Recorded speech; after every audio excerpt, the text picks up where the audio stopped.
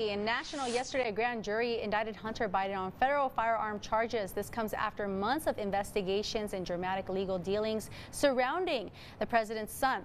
A grand jury indicted Hunter Biden on three gun-related charges. Prosecutors say he lied about his drug use when he bought a firearm in October of 2018. And former federal prosecutor David Weinstein says Hunter could be facing jail time looking at about 10 to 16 months if he's convicted.